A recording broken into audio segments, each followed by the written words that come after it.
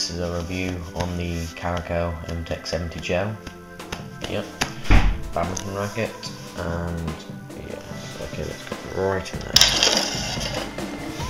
First off, I've got a new grip on it because I didn't like the um, basic grips that you get with them. Um, I don't know if I've the top here, but yeah. Um, the overall racket is mainly white. Um, it's got a bit of black on it around here, and little patterns up here. Um, it's got a bit red down here, which says, sure if you can read that. Says MTec 70 gel, and then there's ISO on the end. Um, it's a nano titanium racket, so it's um, like it's a two-piece design. It's got the frame here, so it's got the frame here, down here, and it's got the handle. And the second part is what they do is they have a connection part here, where my fingers are, and then the whole frame goes up. Um, I've still got the original strings in it because uh, I don't quite need them yet. I will need them soon because he's getting quite loose. Um, I've had this racket for a good, um, say, nine months, so it's lasted me a long time. Right? Very good racket, but most of the time I wasn't using it. I've only started properly using it in the last three months. Now onto the case, it comes with a um, Karakel Smart Technology racket. Um, yeah, it's pretty much, you can see the overall of it, it is just for one bag, it's like one racket even, it's not like loads, it's got a bit of airflow, you see that. I'm sure you can.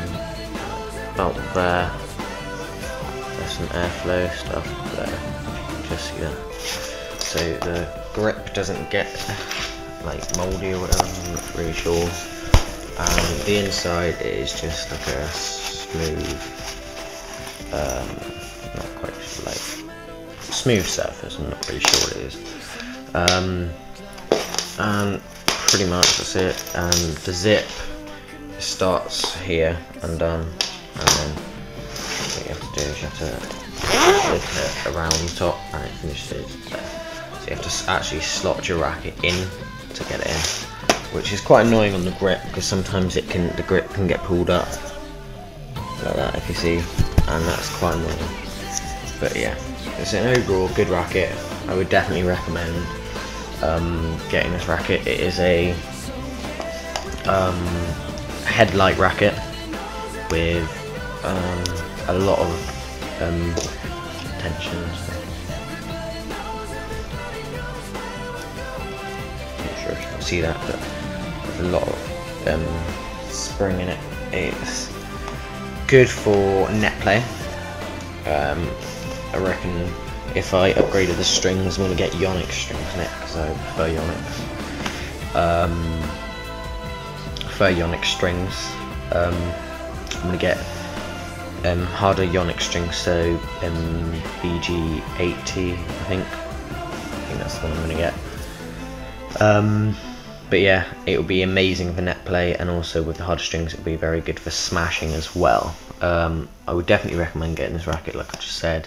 Um, it's a cheap alternative. You can get it for about 60 quid from your local. Um, I got it from Amazon.co.uk because it sell they sell a lot cheaper there than most places. I reckon you can probably get it for about 50 quid from there. But obviously it's January sales soon, so try it then. Um, yeah, cheers for watching. And just to finish off, um, I'm going to, me and my mate, um, we're gonna book a badminton court at the local leisure centre, and we're gonna do some filming of some like shots and stuff. So I'll get some tutorials up for you guys. Um, yeah, uh, he's got a Yonex Armortec 30, which is a very good racket, I must say. Um, I would definitely recommend for the cheaper side of racket. So if you're not like amazing at badminton, you're just getting started or something, I would definitely recommend the Armortec. Um, but yeah, okay, cheers for watching. Um, make sure you check out my other videos and subscribe. Cheers.